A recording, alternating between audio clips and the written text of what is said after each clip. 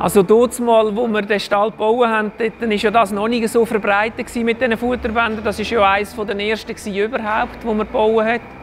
Ich habe es vor allem einfach gemacht, halt vom Platz her, wo man einsparen kann. Man braucht keinen Stand, man braucht vor allem auch keinen Traktor.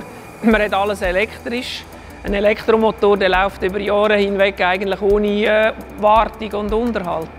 Also was sicher wichtig war für mich, ist, dass wir breite Laufgänge haben als Kühe möglichst viel Komfort haben, dass es so einfach wie möglich ist und nicht zu viel Elektronik, zu viel Technik und äh, dafür mehr Platz und zügiger bauen und auf die Art und Weise das Geld, das man bei der Technik kann einsparen kann, wieder investieren in den Komfort der Kühe als solches.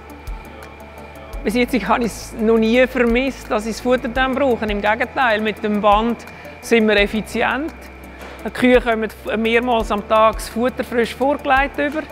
Was sicher mit dem Futterband gewährleistet ist, die Kühe sind noch mal ruhiger gegenüber sonst, wenn man mit dem Mischwagen vorfährt, so zweimal am Tag. Und so kommt das Futter immer, sie wissen, es gibt immer wieder Futter, sie sind nicht äh, darauf angewiesen, gerade sofort den ersten Halm gerade holen und, und darum kämpfen.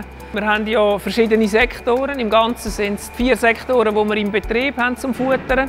Und alles zusammen ist im Moment bei 20 Fütterungen, die wir haben am Tag haben. Und wir haben einfach eine, eine Tagesration, die wir für die Kühe zusammengestellt haben. Und dann kann man das variieren anhand der Kühe, die man hat. Kann man äh, eingeben, wie viele Kühe das Futter überkommen. Und dann tut es automatisch anpassen. Wenn man ein bisschen zu wenig Futter hat, kann man auch Prozent ein bisschen nachgehen. Und von dem her ist es sehr fein und es tut es sehr exakt und genau einwägen. Also die Steuerung ist sehr einfach aufbauen, bedienerfreundlich. Und äh, das kann jeder Mann kann das äh, bedienen, also das ist überhaupt kein Problem. Wir haben einfach da hinten jetzt äh, das Futterband, geht links, rechts runter. Das ist schon mal äh, zwei verschiedene Gruppen. Und dann in der Länge kann man es auch noch variieren. Also da ist man sehr flexibel mit der Einteilung, die man kann machen oder wo man hat. Ja. Für mich ist der grösste Vorteil, das Futter wird immer vorgelegt. Man muss nicht nebendran stehen. Und die Kühe sind geführt, man muss nicht heimspringen, um Futter vorschieben.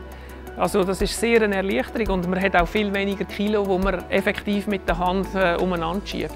Also das Futterband ist am 23. August, ist es acht Jahre jetzt gewesen, als es in Betrieb ist. Auf jeden Fall würde ich die Fütterung wieder automatisieren. Ja. Also das ist überhaupt keine Frage, weil das ist für mich die grösste Erleichterung allgemein, die es überhaupt gibt. Und ähm, das wird wie ein Melkroboter Zukunft hat, wird auch ein Fütterungsroboter oder das Futterband einfach immer mehr an Zukunft gewinnen.